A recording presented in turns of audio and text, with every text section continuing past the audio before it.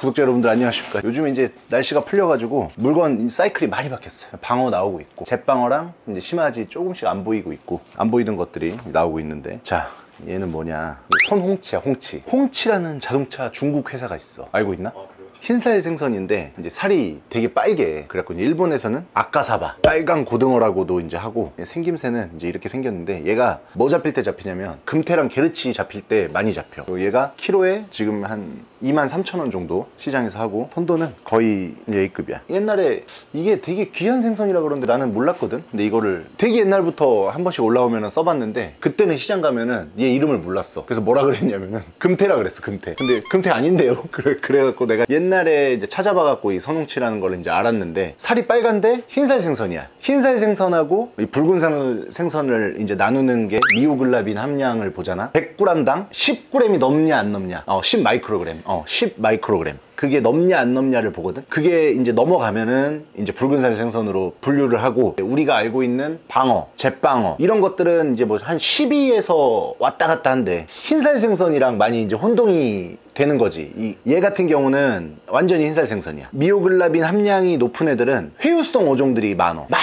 많이 먼 바다를 움직이는 애들 있지. 미오글라빈이 산소를 공급해주는 단백질이야. 그 근육 역할을 하는 거야. 그러니까 산소가 많이 필요한 애들. 회유성 어종 고등어 참치 정갱이 이런 애들한테 많이 필요하고 얘는 이제 금태랑 게르치 잡힐 때 잡히는 걸 보니까 걔네랑 비, 비슷한 수심에서 살지 않나 그런 생각이 들어. 그래서 나는 얘를 많이 먹어봤는데 껍질을 붙여서 먹는 게 확실히 맛은 있고 색깔 자체가 가스오랑 많이 비교를 하는데 나는 좀 다르다고 봐 먹기 싫은 빨간색이야. 가스오는 그래도 색깔 자체가 먹고 싶은 빨간색이야. 얘도 지금 가격이 23,000원에 사왔다 그랬는데 옛날에는 요만한 거 6마리 한 박스에 내가 3만원 4만원 주고 샀었어. 그게 불과 5년 6년 전이야. 잡어였다가 지금 이제 숙성횟집이 많아지고 이런 어종들을 쓰는 업장들이 많기 때문에 산지에서 유통이 이제 되다 보니까 아무래도 구매자가 많으면 가격이 올라가겠지. 그래서 이제 산지에서 이런 생선들을 굉장히 관리를 잘해서 올려보내줘. 그러니까 이제 가격도 올라가고 옛날엔 이거 거의 못 썼어. 선으로 올라오면은 선도가 너무 안 좋아. 너무 귀엽니? 네,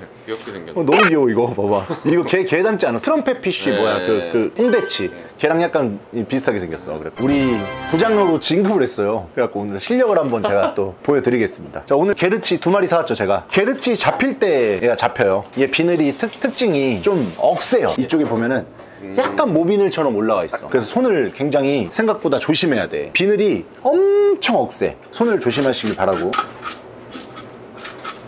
우리가 사실 피기어종을 좀 많이 쓰는 편이잖아 업장에서. 근데 영상을 많이 못 찍고 있어. 시장을 갔다 오는 날은 굉장히 바빠 그치? 이런 것들을 잘 찍고 싶어도 시간적인 요소가 없어갖고 잘 못 찍는데 이제 오늘 이거 찍으려고 이제 작정을 하고 사온 거기 때문에 많이 나와요. 수온이 또 바뀌어가지고 요즘에 또 많이 나오는 것 같아. 그래갖고 얘를 한번 잡아볼 건데 알이 있죠. 알이 있다는 건 맛이 조금 떨어진다는 거를 염두를 하고 먹어야 되는. 보시면은 이런 색깔이에요. 숭어랑도 좀 약간 비슷한 것 같고. 금태가 유명하지 않았을 시절에는 금태랑 헷갈리면 돼. 사이즈가 작으면 그지? 얘도 내가 이제 마스카라를 해봤는데 껍질이 단단해가지고 껍질이 두꺼워 생각보다. 만져보면 좀 그런 느낌이 들지 않아? 네. 여기 보시면은 이런 색깔이에요 살이. 얘를 살 때 이제 저는 산지에서 받을 때는 뭐 상관이 없는데 노량진에 살 때는 얘가 이제 이중으로 2단으로 생선이 쌓여 있을 때가 있어요. 그럼 밑에 거는 잘 안 사는 편이에요. 엄청 깨져요. 밑에 걸 사면. 삼치도 그렇죠. 눌리는 것들은 웬만하면 좀 잘 안 사는 편이긴 한데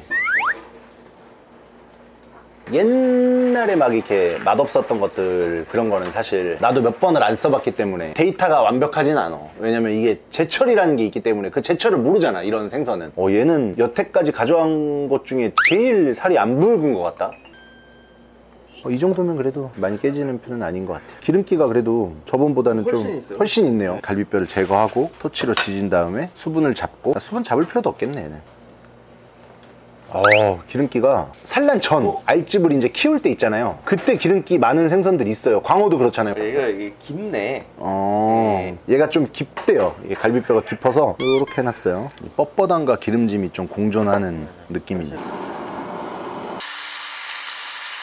그래도 우리가 처음에는 이런 거 가져오면은 조금만 특이한 것도 다 못 팔고 숙성해나 초밥으로 팔았는데 지금은 판매율이 굉장히 늘었어요. 80%까지는 올라온 것 같아요. 이런 걸 찾으시는 예, 분들이 생기죠. 많이 생기셔가지고 이제 조금 있다가 가시 뽑고 시식을 한번 해보겠습니다. 가시를 이렇게 이렇게 뽑아주면 돼요. 잘 뽑히나요? 잘 안 뽑히네요. 잘 안 뽑히나요? 부장님 손톱이 이렇게 까만 거는 칼을 많이 갈아서 그래요. 여러분들 이해해 주세요. 칼을 진짜 열 몇 자루를 혼자서 거의 독단적으로 갈고 얌생이들이 칼을 안 갈아요. 얌생이들이 칼을 갈지 않습니다. 금태랑 진짜 그 게르치랑 좀 비슷해 느낌이. 이 질긴 것들은 칼집을 한번 넣어주는 게 아무래도 통째로 먹을 일이 적으니까.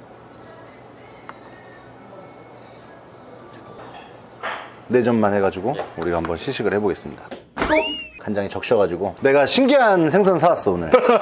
아 자, 이렇게 바로? 어, 자다 일어난 지 한 3분 됐지? 우리 직원이에요 가영이라고. 25이니까 오시면은 이뻐해 주세요. 차차 영상이 많이 나올 거니까 다시 인사드리겠습니다. 이거 선홍치라 그래가지고 좀 귀한 생선이야. 하나 먹어봐 무슨 맛인지. 어, 엄청 부드러운데. 끝이 뭔가 식감이 쫄깃쫄깃하니까 되게 먹는 재미가 있어. 괜찮은 것 같아? 주토피아의 나무늘보. 살면서 처음 들어봤습니다.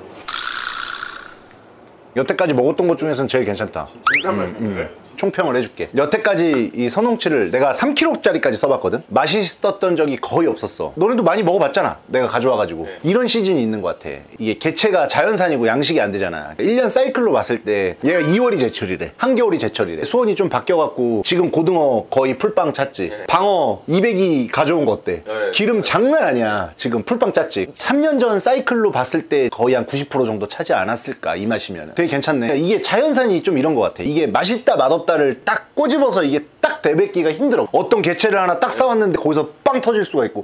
우리 그때 금태 큰 거 가져왔을 때 어땠어? 별로였잖아.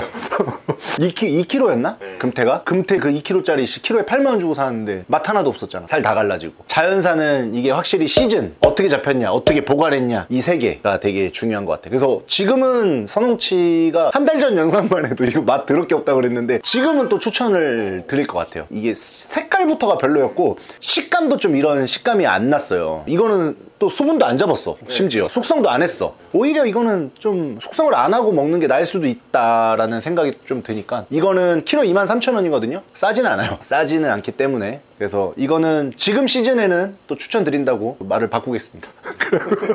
가영 인사드려. 잘 잤니? 갑자기 잘 잤어? 어. 네, 우리 가영이의 또 성장 모습을 찍을 거니까 잘 지켜봐 주십시오. 예약이 지금 이제 와가지고 일을 해야 됩니다. 그럼 다음 시간에 뵙겠습니다.